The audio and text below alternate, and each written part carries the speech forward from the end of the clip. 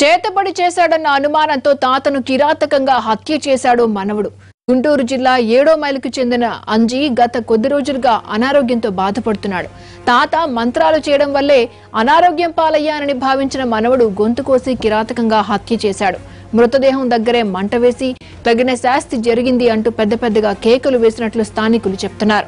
హత్య తర్వాత తండ్రికి ఫోన్ చేసి విషయం చెప్పిన నిందితుడు అక్కడి నుంచి పరారయ్యాడు.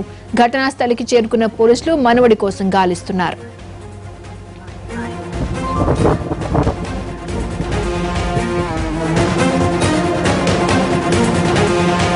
చేసినట్లు స్థానికులు చెప్తున్నారు. హత్య తర్వాత తండ్రికి ఫోన్ చేసి విషయం చెప్పిన నిందితుడు అక్కడి నుంచి పరారయ్యాడు. ఘటనా స్థలికి చేరుకున్న పోలీసులు మనవడి కోసం గాలిస్తున్నారు.